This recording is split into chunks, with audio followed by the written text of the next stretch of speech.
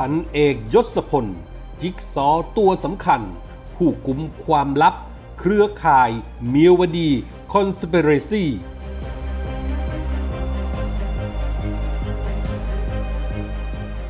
เปิดสองสูตร ปรับครมอ สลับเก้าอี้ชุลมุน สุดท้ายลุงตู่จะโอเคหรือไม่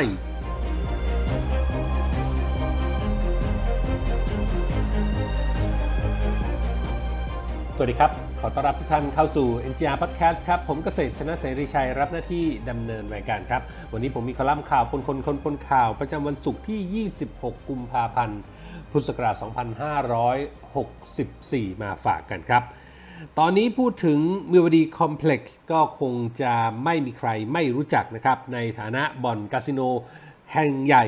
ในฝั่งเมียนมาด้านตรงข้ามแม่สอด ที่ว่ากันว่ามีนายตำรวจยศพันตำรวจเอกคนดังประจำถิ่น เป็นเจ้าของร่วมกับบิ๊กทหารเมียนมานามหม่องชอขณะเดียวกันความยิ่งใหญ่ของมูดีคอมเพล็กซ์นั้น ยังกำลังถูกพาดพิงถึงว่าเป็นศูนย์รวมผลประโยชน์ของธุรกิจสีเทา ที่เชื่อมโยงเอาบุคคลทั่วทั้งวงการพนัน ยาเสพติด และเครือข่าย คนมีสีระดับบิ๊กๆมารวมอยู่ด้วยกัน คนเหล่านี้หล่อล้อม ร่วมกันสมคบคิดกันเป็นเครือข่ายใหญ่ หรือมิวดีคอน spiracy ชนิดที่ไม่เคยมีมาก่อนในประวัติศาสตร์อย่างน่าตกใจ เครือข่ายใหญ่นี้มีใครบ้าง เรื่องนี้ต้องย้อนกลับไปดูภาพรวมกันก่อนครับ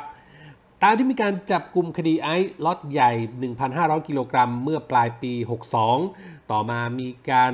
จับกลุ่มผู้ที่เกี่ยวข้อง แล้วก็ขยายผลถึงตัวการเป็นเจ้าพ่อยาเสพติดของภาคตะวันตก ชื่อหนูเฉิน หรือถาปนานันธรรมรัตธาดา ซึ่งถูกระบุว่าใช้มิวดีคอมเพล็กซ์เป็นศูนย์ประชาการขนาดใหญ่ จนมาถึง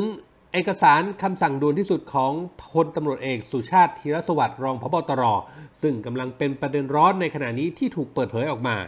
โดยมีพยานตามเอกสารมีชื่อว่านายเกิดชนะมินาได้ให้ปากคำเอาไว้ เอกสารนั้นมีชื่อของบิ๊กตำรวจสองนาย และถ้าส่องดีๆครับ จะเห็นว่ายังมีอีกหนึ่งตัวละครที่สำคัญ นั่นก็คือนายทหารยศพันเอกคนหนึ่ง ที่เกิดชนะพยานซัดทอด แต่ก็ไม่ได้ถูกพูดถึงมากนัก โดยขณะนี้ถูกจับกุมคุมขังอยู่นายทหารคนที่ว่าครับตามถ้อยคำของเกิดชนะก็คือพันเอกยศพลสิทธิกัน ที่พยานเกิดชนะนั้นเรียกว่านาย เพราะเป็นผู้ชักชวนเข้ามาสู่ขบวนการจนกระทั่งถูกจับ ทั้งคู่ก็คือนายทหารพันเอกยศพลกับนายเกิดชนะเนี่ยนะครับรู้จักกันตั้งแต่ปลายปี 2557 ในขณะที่เกิดชนะนั้นไปส่งอาวุธให้ที่ค่ายทหารจังหวัดเชียงราย และได้ไปรู้จักกับพันเอกยศพลสิทธิกัน ในตอนนั้นเป็นนายทหารประจำอยู่ที่ศูนย์อำนวยการสร้างอาวุธจังหวัดลบบุรี ต่อมาครับพันเอกยศพลก็ชวนเกิดชนะมาเป็นลูกจ้างอยู่หน่วยทหารซ่อมอาวุธที่จังหวัดลบบุรี และจึงมารู้จักกับหนูเฉินถาปนันขณะนั้นถาปนันเคยถูกจับคดียาเสพติดจำนวน 20,000 เม็ดแต่ก็ได้รับการประกันตัวจึงหลบหนีข้ามไปยังฝั่งประเทศพม่า พันเอกยศพลในฐานะนายก็สั่งให้เกิดชนะ พร้อมพวกอยู่ดูแลรับใช้คอยคุ้มกัน และทำงานกับหนูเฉินตั้งแต่ปลายปี 2558 แน่นอนว่าการอยู่รับใช้เจ้าพ่อยาเสพติดอายุน้อยหนูเฉินทำให้เกิดชนะรู้เห็นพฤติกรรมต่างๆ ของขบวนการธุรกิจสีเทาที่พัวพันกับศูนย์ประชาการใหญ่ที่เมียวดีคอมเพล็กซ์ตลอดจนได้รับความไว้วางใจ ขนเงินจำนวนถึง 340 ล้าน ไปแลกเงินหยวน ขนทองคำไปฟอกเงินให้หนูเฉินดำเนินการติดต่อร่วมคนขบวนการ ที่เข้าๆออกออกแวะเวียนมารักษาผลประโยชน์ของตัวเองที่บ่อนคาสิโนเมียวดี นั่นจึงเป็นที่มาของการให้ถ้อยคำทั้งการชี้ตัวคนใหญ่คนโตที่เขาซัดทอดตามเอกสารด่วนที่สุดของรองพบตร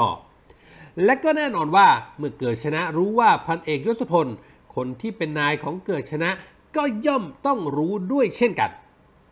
ข่าววงในของสายทหารที่รู้จักกับพันเอกยศพล เชื่อว่าระดับการเข้าถึงเครือข่าย คนที่อยู่เหนือขึ้นไป ทั้งในแง่ของความเป็นนายทหารของพันเอกยศพล ที่ว่ากันว่าเขาเป็นเพื่อนร่วมรุ่นเดียวกับบิ๊กทหารใหญ่ ๆ ที่มีอำนาจอยู่ในกองทัพหลายคนขณะนี้ ย่อมต้องรู้ดีรู้มากกว่าเกิดชนะพยานที่ซัดทอดเขา ว่ากันว่าหากจะมีตัวละครสำคัญ ผู้ที่เป็นจิ๊กซอว์โยงใยไปถึงแกนกลาง คุ้มข่ายอำนาจ ผู้กุมความลับของคนในเครือข่ายมิวดีคอน spiracy ใครเป็นใคร มีใครบ้าง คนคนนั้นย่อมต้องเป็นนายทหารยศพันเอกผู้นี้นี่เอง ณ เวลานี้ นายทหารคนนี้เป็นตัวละครสำคัญที่จะไขปริศนา ก็ขึ้นอยู่กับว่า ปริศนาจะถูกคลี่คลายหรือไม่ ผู้ใหญ่ของบ้านเมืองจะทำความจริงให้ปรากฏได้แค่ไหน โปรดติดตาม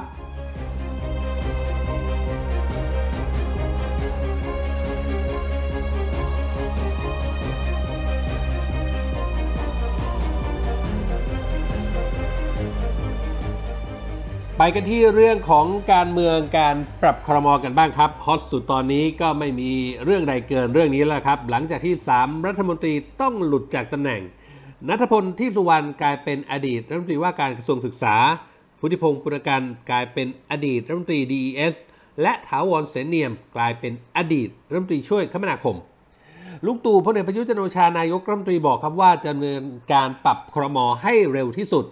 ในพรรคพลังประชารัฐนั้น ดูจะคึกคักกว่าใครเพื่อนครับ มีการจัดสูตรจองเก้าอี้แบบไม่มีเหนียม นักข่าวเองก็รู้ดี แล้วก็มีออกมาเป็น2สูตรที่กำลังสะพัดอยู่ในขณะนี้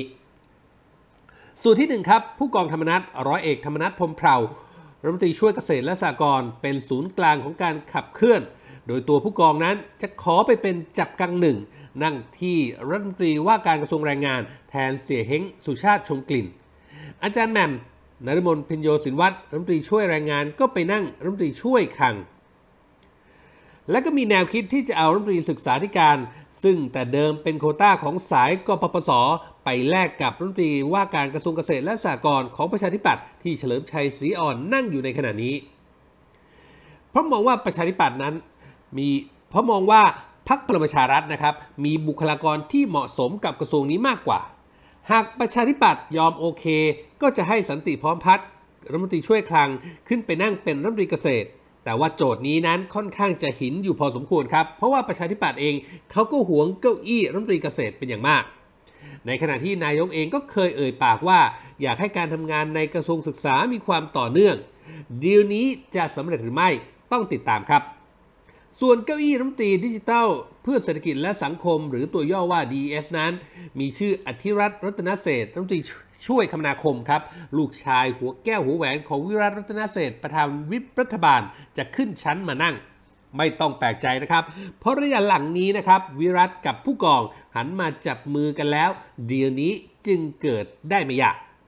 สำหรับเก้าอี้รัฐมนตรีช่วยเกษตรที่ว่างลงครับ ชัยวุฒนาคมานุสรสสบัญชีรายชื่อของพลังประชารัฐ หลานแม่กิมลีจากเมืองสิงห์ที่เป็นหัวหอกออกมาชนกับกลุ่มสีกุมารก็ติดป้ายจองทันที ว่ากันว่าในการปรับครมครั้งนี้ ได้รับการเลือกสรรชื่อก่อน เพราะว่าข่าวที่แล้วนั้นพลาดไป ลุงป้อมก็เลยรับปากเอาไว้ว่า ปรับคอรมอครั้งหน้าเมื่อไหร่ จะพิจารณาชื่อของชัยวุฒธนาคมานุสรเป็นอันดับแรก ส่วนพักภูมิใจไทยของเสียหนูอนุทินชาญวิกูลครับ ที่มีการมองกันว่า จะรุกขอเก้าอี้เพิ่ม ตามจำนวนสสที่เพิ่มขึ้นมา แต่ก็รู้ๆกันอยู่ว่างานนี้เก้าอี้นั้นมีจำกัด ทางออกก็คือถ้าไม่ได้เพิ่ม เสียหนูขอคุมกระทรวงคมนาคม และสาธารณสุขแบบเบ็ดเสร็จ คือสองกระทรวงนี้ต้องมีรัฐมนตรีว่าการ และรัฐมนตรีช่วยเป็นคนของภูมิใจไทยก็พอใจแล้ว จึงมีความเป็นไปได้สูงครับที่รัฐมนตรีช่วยของภูมิใจไทย และประชาธิปัตย์จะมีการสลับเก้าอี้กัน ส่วนสูตรที่ 2 สูตรนี้ครับ กลุ่มสามมิตรขอเข้ามามีบทบาทในการขยับสับเปลี่ยนด้วย โดยเสียแฮงอนุชานาคาสายรัฐมนตรีประจำสำนักนายก ในฐานะเลขาธิการพักก็เล็งไปที่รัฐมนตรีว่าการกระทรวง DES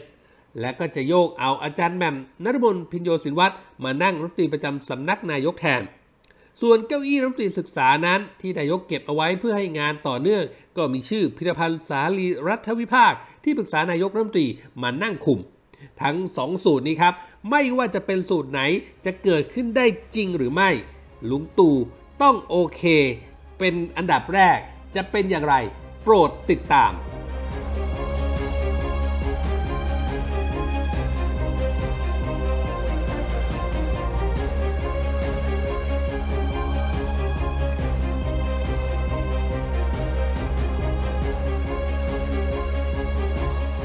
นี่คือเรื่องราวจากคอลัมน์ข่าวบนคนคนบนข่าวที่ผมนำมาฝากกันในวันนี้นะครับคุณผู้ฟังสามารถเข้าไปอ่านเพิ่มเติมได้ในเว็บไซต์ของเราครับ mgronline.com นอกเหนือไปจากข่าวสารที่เราอัปเดตให้อ่านกันตลอด 24 ชั่วโมงแล้วนะครับ ยังมีคลิปข่าวที่น่าสนใจในทุกหมวดข่าวให้ได้เลือกรับชมกันอีกด้วยครับ และถ้าหากคุณผู้ฟังคุณผู้ชมมีข้อแนะนำติชมประการใดนะครับสามารถทิ้งคอมเมนต์ไว้ได้ในท้ายข่าวทุกๆข่าวได้เลยครับทุกคอมเมนต์ทุกความเห็น จะเป็นกำลังเป็นแรงใจให้พวกเรานำไปปรับปรุงพัฒนาผลงาน ให้ออกมาเป็นที่ถูกต้องตรงใจคุณผู้ฟังมากที่สุดครับ วันนี้หมดเวลาแล้วครับ ขอบพระคุณทุกท่านที่ติดตาม ผมเกษตรชนะเสรีชัยลาไปก่อน พบกันใหม่โอกาสหน้า สวัสดีครับ